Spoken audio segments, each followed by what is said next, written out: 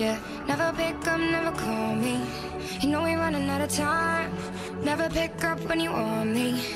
어, 이거 어떻게 답을 해야 될지 모르겠는데 어, 예, 그 끝부분에 대해서 물론 저도 마음이 안 좋아요. 굉장히 안 좋았고 그 순간에도 굉장히 주저를 많이 하고 했었는데 이게 그 초반이나 중반이었으면 아무래도 둘이 이제 남자친구 역할을 겉으로 보이는 역할은 남자친구이다 보니까 조금 망설였을 텐데 이제 뒷부분에 가서 이제 서로에 대한 감정들도 병수하고의 정체를 알아차리고 감정이 크게 이제 극한에 맞닿는 상황이기 때문에 그때는 물불 안 가리게 될 수밖에 없었던 것 같아요. 그리고 어 저도 사실 감독님한테 그 질문을 드렸는데 이렇게 업어치기까지 해야 되나 그리고 꼭 이렇게 꼭까지 그냥 오면 그냥 밀치는 정도로 상상했었거든요. 이렇게 오면은 에잇 뭐이 정도였는데 너무 잡아가지고 근데 그게 뭐 감정적인 상황에서 그게 맞는 것 같고 또, 또 태주를 표현하는 데 있어서 굉장히 한 부분을 감당하고 있는 것 같아요. 그리고 서련이가 또 올 때도 굉장히 잘 엎혀가지고 한 방에 이렇게 두 번 찍었나요? 한 번,